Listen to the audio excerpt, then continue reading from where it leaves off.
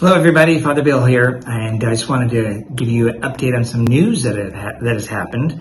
Uh, and I just got this off of the Catholic Sentinel website, uh, and it basically the Catholic Sentinel itself and the Centinela, the Spanish edition of the Sentinel, is going to be uh, closing their publication on October tw- on October first reflecting the transition in Catholic communications, according to a press release that was just released today.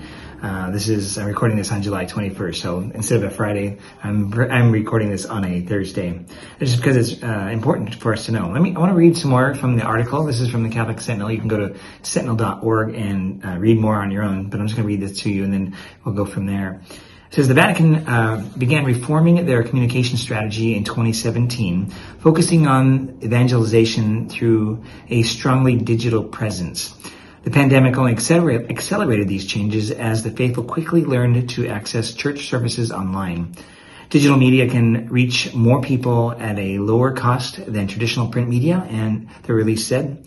Uh, and this is a quote from Archbishop. He says, "The Catholic Sentinel and Centinela, Centinela have been an integral have been integral in communicating to the faithful in Western Oregon." The Archbishop explained that he hopes to continue to offer an outlet for local Catholic news. He said the focus uh, on so the focus going forward will be more on evangelization and outreach and less on cl- classic journalism. And basically, like, what's the latest news in the Catholic Church? There's other ways to do that. The Archbishop has begun producing social media videos aimed at people on the fence of faith. Those videos can be found on the Archdiocese website. You can go to archdpdx.org, along with news, announcements, and upcoming events, and statements and other communications. So it sounds like, again, with this closing down, the the website, RHD, RHDPDX, the Archdiocese website, is going to be needing a little bit more um, insert of news events and other kind of things going on. So I'm going to guess that's what we'll probably see. Uh, that means, of course, the, after October, there will not be any sentinels available to people in the church, nor will you be able to subscribe to it. Um, here locally, we're just, this is kind of just thinking about these things. You know, our own website uh, has basic information. It's like having a, a static uh, bulletin of sorts. Uh, but I think that we will start looking at other ways to uh, beef that up and also just have another uh, extended web presence. Now, and this is one of them right here. We uh, of course, this is on the shoulders of Father Dave choosing to have multiple videos during the week in my previous parish, we did the same thing, but it's been continuing here at Holy Trinity. And I think that's a great way to, to do things that allows us to communicate to you in a way that print media does not. Uh, Pope John Paul II, when he spoke about the new evangelization, he spoke about a new ardor and new media. And the new ardor can be done in print, uh, but the media itself, books, um, you know, newsprint, and even in some ways, CDs uh, are not the new media. New media might be things like a book on tape, or in this case, a video, or uh, websites that are, have like more social interaction. And I'm hoping, you know, we're going to start looking at that. I ask you to pray for us. We'll continue, of course, doing our bulletin, but maybe if you're going out uh, on vacation and going to be other places where there's other parishes, I would love to see what those bulletins look like so that we can kind of relook at our bulletin. What could we do to do something new? Maybe, uh, maybe change something, delete something, whatever it might be. But it's helpful to see those. So when you go on vacation, and of course you go to mass, right? Of course you do. Uh, pick up a bulletin and bring it back to the parish, give it to Erica, and she can look at that and we'll kind of peruse ideas uh, and beg, borrow, steal, whatever we can, with brilliance of other parishes. But also pray for us as we want to do some more in the area of a new media presence as well. And this is a great start this kind of thing. Uh, I do want to encourage you, as you do watch this, to make comments. So this is on Facebook, but it's really, the source is, is YouTube. To consider on the Facebook, the Facebook, um, to write comments. Uh, I'm going to do my best to, to watch our Facebook presence and make comments and communicate with people. I've been overwhelmed by how many people are emailing me. That's wonderful. And that makes it really simple for me to communicate back to you uh, in a timely manner. Uh, I know that in some of the gatherings I've had with priests in our uh, country through Amazing Parish, uh, we had what was called boot camp. And in this boot camp, we had challenges that we had for us. And one of those challenges that a couple priests, uh, priests in this group decided to do, that they would get back to their, their parishioners uh, so if a phone call came back, they do it in a timely manner. One said, yeah, within three weeks. And I'm like, within three weeks? Uh, um, how about like three minutes, uh, if that's possible, or within the end of the day, uh, something like that. And when it is a like uh, a email, that is something that I know that I can do that much easier. Uh, so my email is fatherbill f r b i l l at h-t.org, and you can email me that way.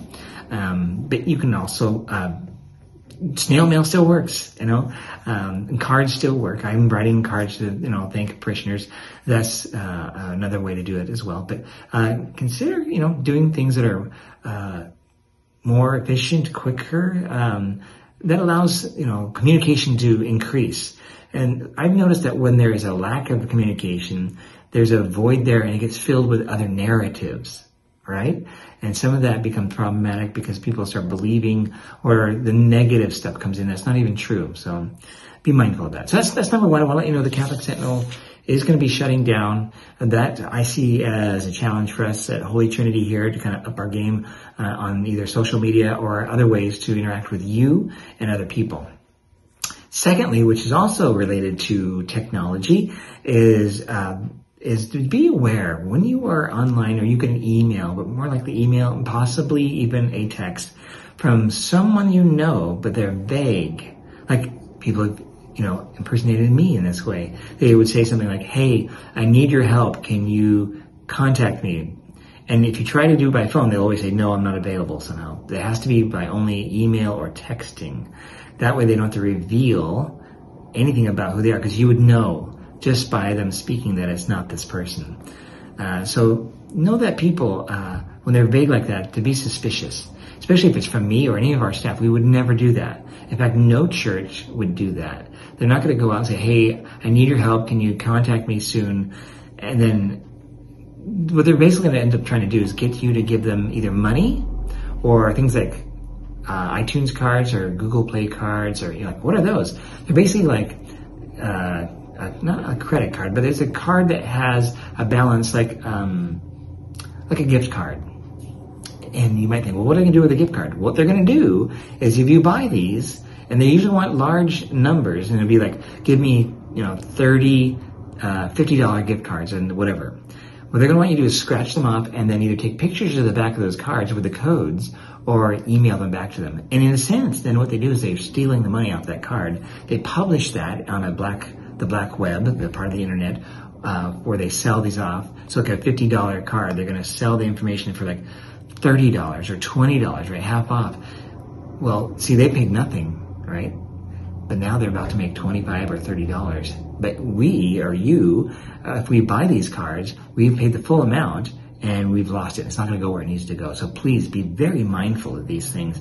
They're called phishing attacks or phishing attempts. And it's not with an F-I-S-H, it's P-H-I, etc., phishing. And it's a way for people, and it can be done by bots, I mean a, a computer, like a, a, robot on the internet, scanning websites. And it can happen on us. That's where I think uh, what's happened here at Holy Trinity since I arrived, because it didn't take long after I arrived, that people are getting an email or a text from me asking some big, uh, you know, hope for help. And some people have bid on it, but luckily they contacted us or said no thanks. Uh, they they've since us. Our parish is pretty high tech, which is pretty pretty great. But they only need to have one person that gets fooled.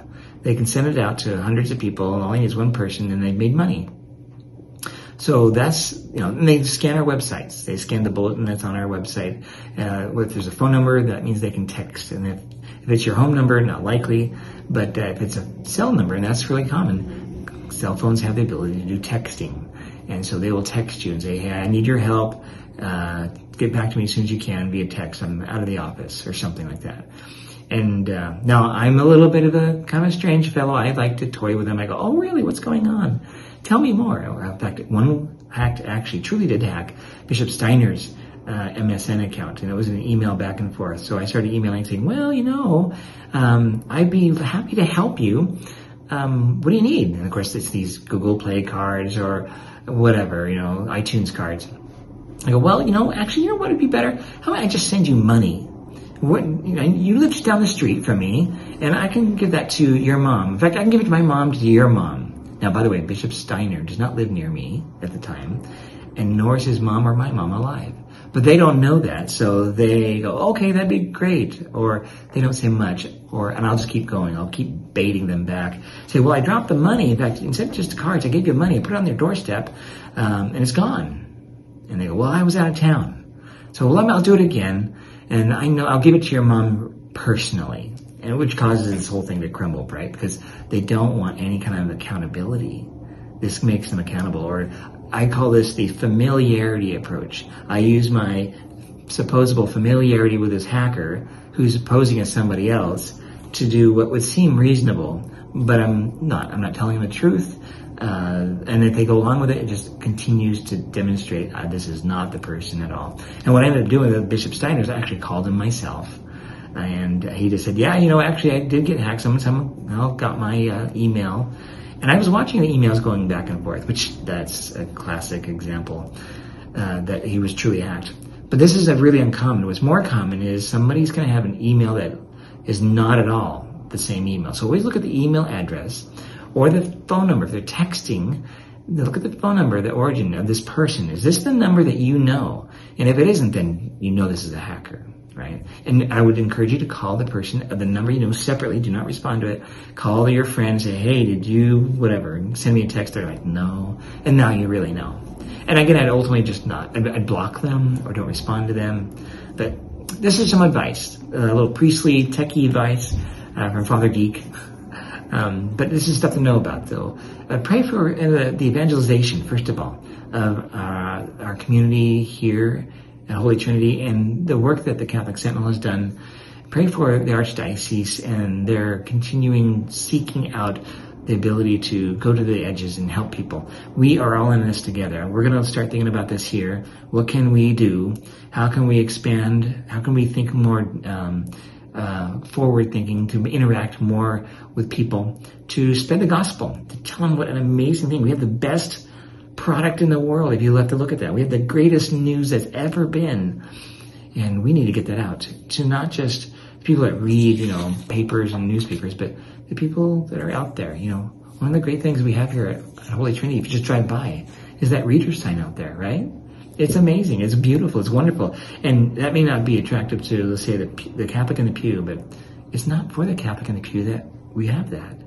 It's for people driving by. And I, have been with my sisters driving by, and then they go to church, but they, they, they are attracted. They read the sign, and it's nice. Sometimes it's just a kind of a quip, uh, uh, something a little, you know, humorous.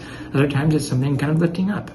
Um, I think it's a, it's an unusual thing for a Catholic church to do, but you know, we're just trying to think, uh, how can we help people and do things in ways that are unique. Again, I'm Father Bill Holtzinger. God bless you. Uh, feel free to make send, put comments in the comment section. I'll do my best to connect with you on that or uh, other parts or other members of our staff. And I hope we'll see you this weekend. I think Deacon Brett, in fact, I know Deacon Brett is preaching uh, this weekend, and uh, I look forward to listening to him share the word from his heart and some of his stories. God bless you all.